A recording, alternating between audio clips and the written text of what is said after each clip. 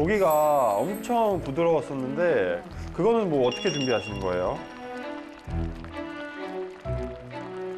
갈비가 이렇게 생겼잖아. 네네. 이렇게 생겼으면은 요걸 반을 토비로 잘라가지고 네네. 요렇게 떠야지 아 이게 지금 포 뜨는 거죠? 포 뜨는 거야. 오. 요렇게 해서 네. 요거로다가 요렇게 요렇게 좀 두드러 줘야지 이 고기가 부드러워. 어 고기를 왜 괴롭히세요? 그 괴롭히는데 나 취미가 있어. 무서운 누나네요. 어, 인지 알았어? 야 진짜 아주 제대로 누나가 괴롭혔어요. 오. 우와. 아 역시 이야. 오랜 노하우가 괜히 있는 게 아니야. 대박. 그래 저렇게 두들겨주고. 이거는 이제 이렇게 해가지고 네. 내가 특별히 만들어 놓은 양념 간장이 있어. 양파, 배, 사과, 생강을 갈고 나서 간장을 넣고 끓인 다음에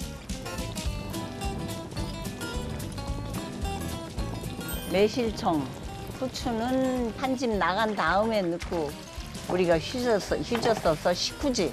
그럼 아. 거기다가 묻혀가지고 네. 김치 냉장고에다가 3일 동안 재워야 돼. 숙성시켜야 돼. 3일 정도.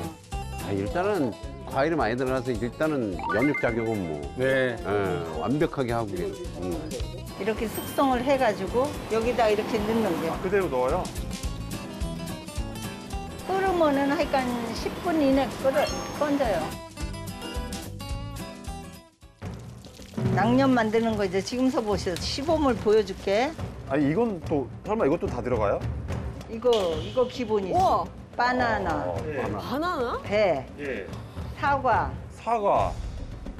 양파, 마늘. 아까 제가 깐 마늘이잖아요. 그거 아까 레오가 깐 거예요. 아니 저기에 과일이 엄청 많이 들어가더라고요. 아, 그, 그래서 아까 토마토 스파게티 얘기를 했구나. 아니, 저는 사과나 배에 들어간 거 많이 봤는데 바나나 들어간 것도 처음 봐요. 바나나는 네. 고춧가루 맛이 좀 순해지고 좀 순해지는 맛이 있어요. 저희 단맛이 많고 그러니까 오. 또 사람들이 먹고 나서 속이 아프다 뭐 이런 게 없어. 그런 게 많이 들어가요. 아 연구 많이 하셨네. 자 넣어요?